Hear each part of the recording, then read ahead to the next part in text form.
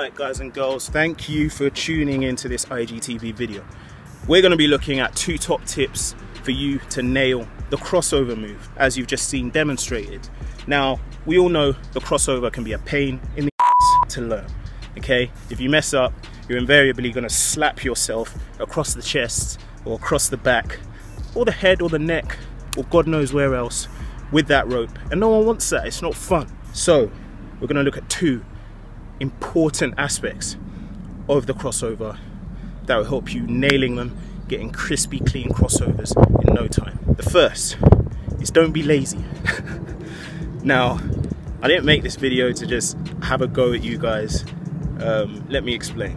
When I say don't be lazy, what I mean is you want to do as much as you can to give yourself a large gap to jump through, okay?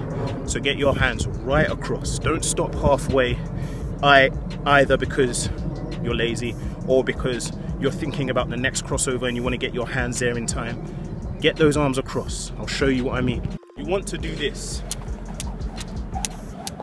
Across, okay? Cross, cross, cross. You do not want to do this. Okay? Oh no, I messed up my crossover. Let me try again. I got one, but the second one is gone, okay? You don't want to do that. If you stop halfway through the cross, this gap is not enough for you to jump through. You want to get your arms right across, give yourself a nice big gap to get through. Also, the second thing is that if you do not get your hands fully across, that rope, you might have seen it as I just demonstrated, but that rope is going to be all laggy and floppy. You want it nice and tight, okay? So get that across. That's the first thing. The second top tip I'd say is slow your rope. This is just a basic two pound or just a super cheap basic PVC rope. The reason why I'd recommend this, and you guys know me already, you know I love speed. You know I love a fast rope. In fact, I'll show you the rope. This is the rope I normally use.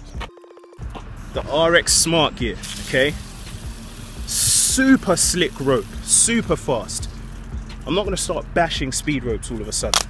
I do most of my training with speed ropes.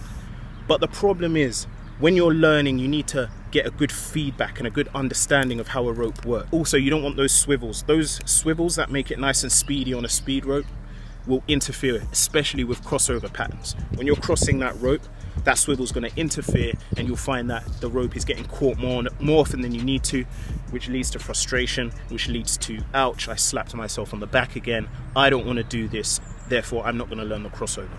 Start with a normal run-of-the-mill rope. Slow your rope down if you can. Those are my two top tips. Don't be lazy and slow your rope. I hope those are helpful. Let me know down below in the comments what you thought of it. All the best with your training and stay raging.